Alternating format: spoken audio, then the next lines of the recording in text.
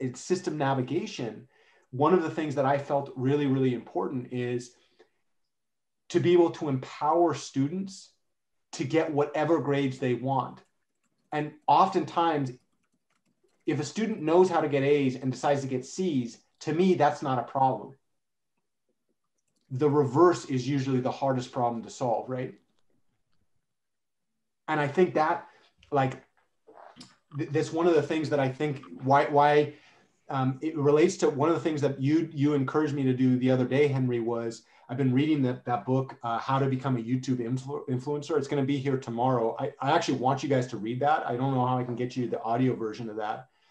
Um, you don't have to read it for now. I will, the first three chapters of that book have some really, really good questions that I think we as a team should answer all about. So, um, Steve, uh, you know, those, and Henry, those questions that we were just asking about Steve about his education, like what do you want? Mm-hmm. They have similar questions designed for a YouTube channel which was freaking amazing. But one of the things that they said in that was YouTube, first and foremost, is a search platform.